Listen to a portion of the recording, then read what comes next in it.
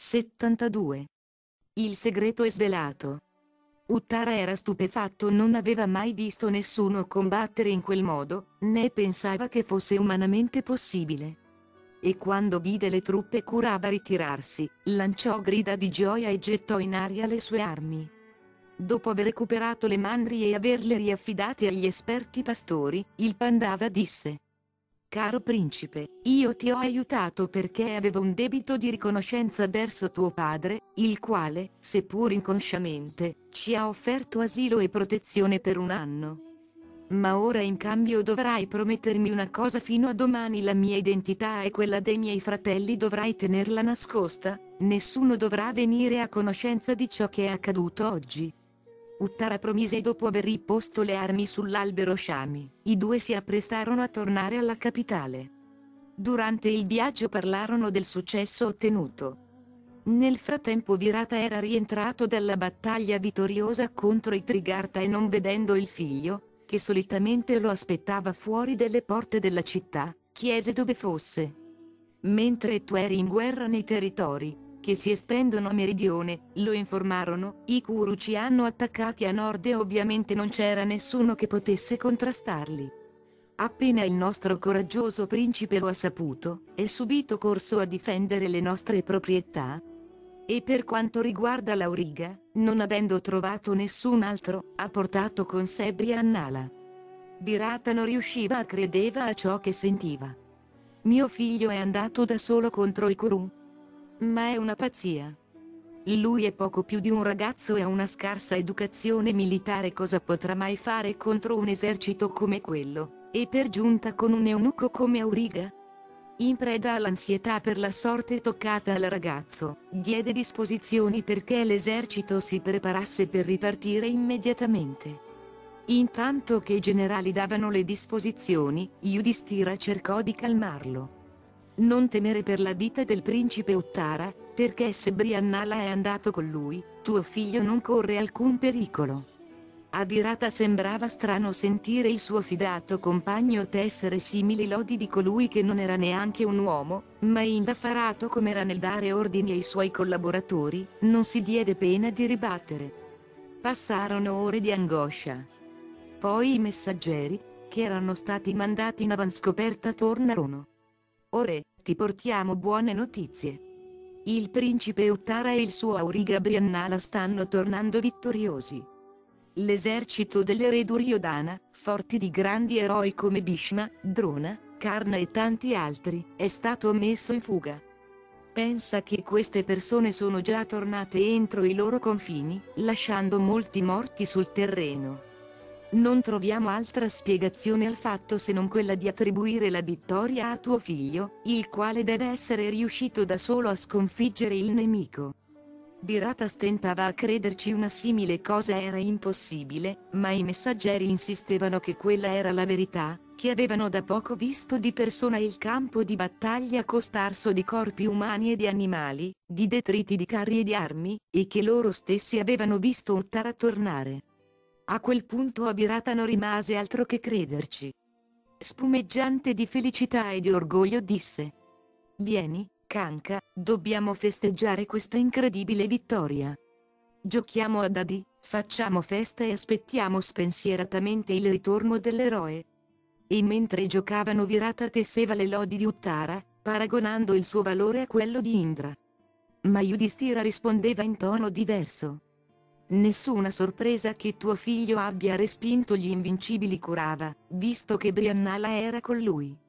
A quel punto il ricominciò a spazientirsi.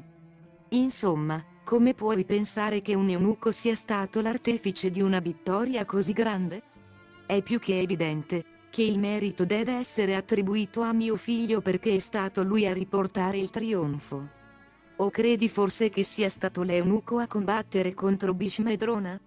Ma poiché Yudhishthira continuava ad attribuire il merito della vittoria a Briannala, Virata perse la pazienza e gli scagliò i dadi sul viso, ferendolo al naso.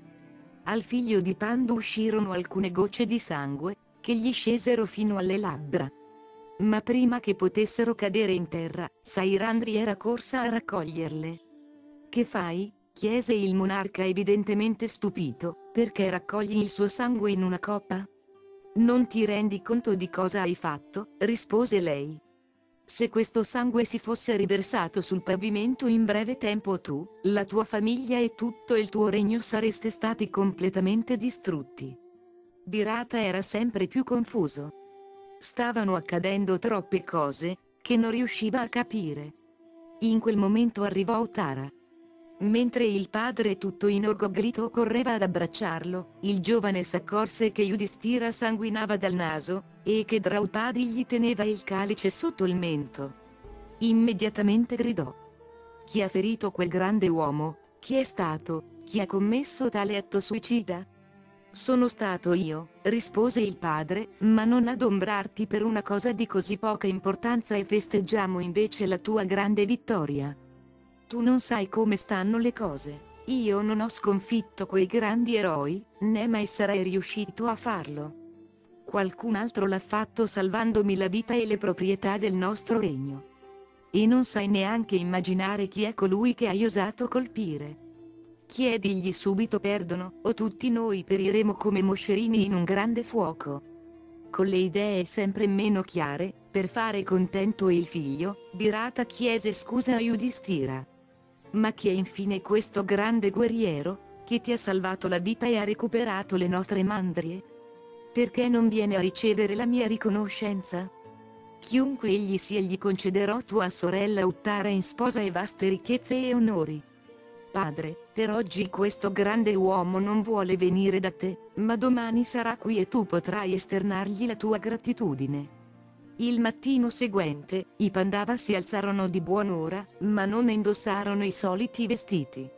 Bagnatisi in acque intrigante dei profumi più fragranti e copertisi di sete preziose di fattura squisita, si recarono nella sala reale e presero posto sui seggi riservati ai monarchi ospiti.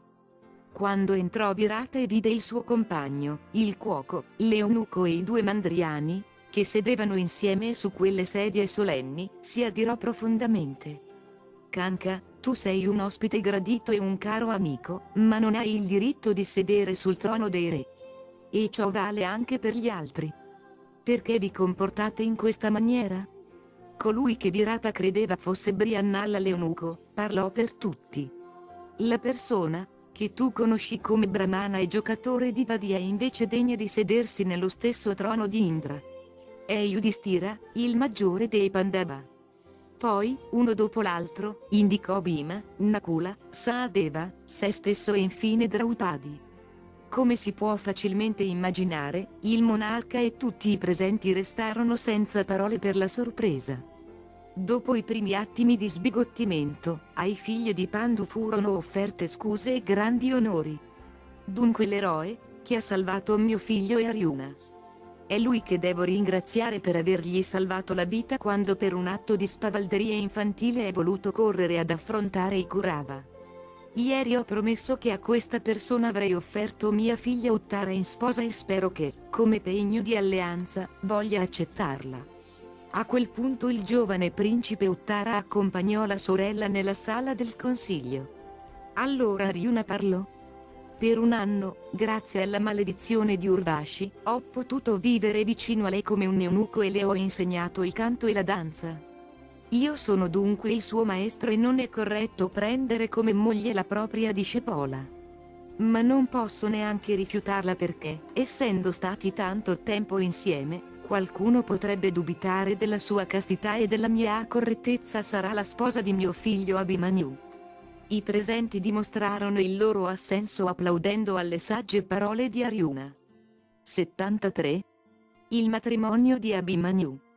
La notizia, che i fratelli Pandava avevano terminato con successo il loro ultimo anno di esilio si diffuse in tutto il mondo e seminò sgomento ovunque.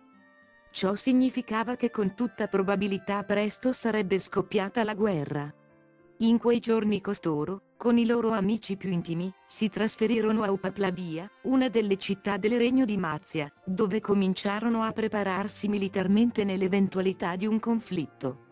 Non tardarono ad arrivare tutti gli alleati. Prima Krishna e Balarama, poi Drupada, Satyaki e migliaia altri re e grandi eroi cominciarono ad affollare la città, tutti ansiosi di vendicare i torti inflitti agli amici. Ma nel mezzo di tanto fermento guerriero in quei giorni ci furono anche momenti di gioia, quando fu celebrato lo sfazzoso matrimonio tra Abimanyu e Utara. Le nuvole nere della guerra prossima non oscurarono fortunatamente quella giornata felice.